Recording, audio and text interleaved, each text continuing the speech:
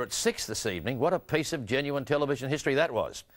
The very welcome return to Auntie of good old Doctor Who, back and still terrific the second time around. Would you believe it's close to 40 years now that the old classic British science fiction series has been entertaining viewers around the globe? And in that time, it became cult viewing, not just for kids, but also for a lot of big kids as well. Here's a look back at the wacky world of the slightly mad Doctor through the eyes of one very curious community, all those Doctor Who buffs.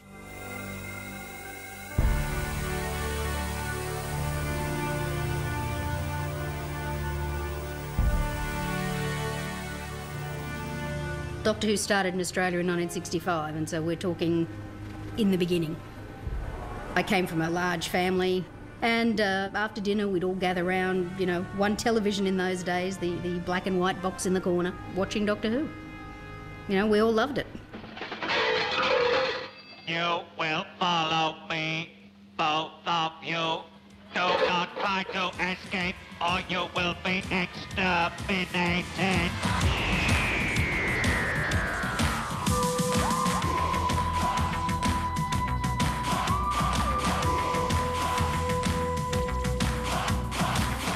It was never frightening to me. It was fascinating and interesting and exciting, but it was never frightening. You know, I didn't sit on the behind the couch. I was too busy sitting on the edge of my seat lapping it all up.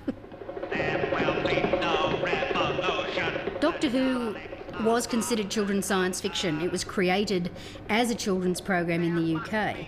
Interestingly, when it first came out to Australia, it began in an adult time slot at 7:30. You know our ways. You must be destroyed. You can see in the censor records that several of the close-ups were cut because these were considered too scary.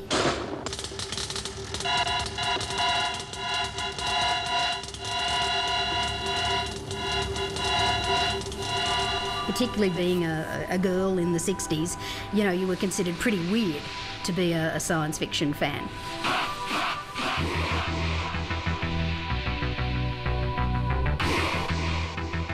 It wasn't until I went to university and there become involved with the uh, University Science Fiction Association.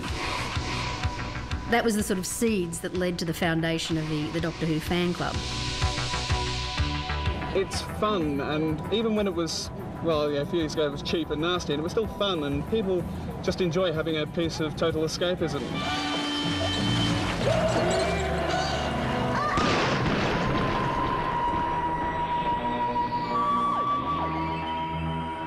Know that for many fans, their favourite is Tom Baker. I found that Baker's Doctor tended to be a little bit too slapstick, comedic, even buffoonish. Got it! Li H'sen Chang. What? The master of magic and mesmerism. Show us a trick. Very good. Very good.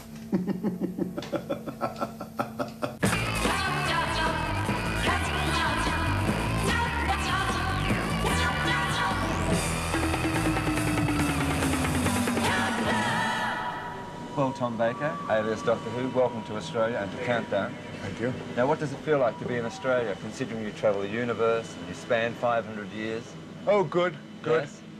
Sometimes they say Australia's 500 years behind the rest of the world. I mean, what is your assessment of that? Oh, I would have thought it's longer than that.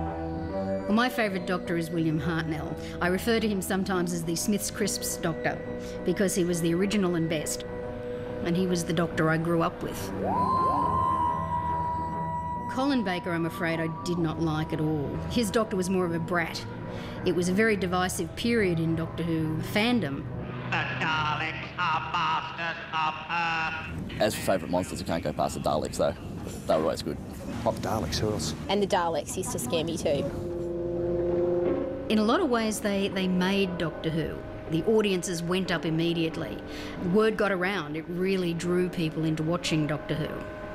I can hear you. I warn you. Resistance is useless. Turn on the Daleks, turn on the Daleks, kill the Daleks. Lot of people think the Daleks are robots, but there was actually a Dalek creature, a life form inside it.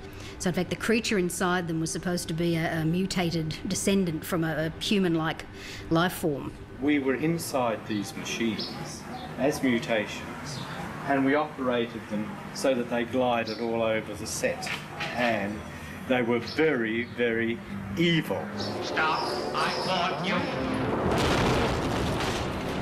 I'm a curator at the Powerhouse Museum. My day job is curator of space technology, but I've also been able to curate a couple of exhibitions on special effects so that we could create a homage to Doctor Who. Even the people who say they don't like Doctor Who, they've all seen it, haven't they? Now that we see Doctor Who coming back on television, it's going to encourage a whole new generation of fans to really appreciate Doctor Who from its roots.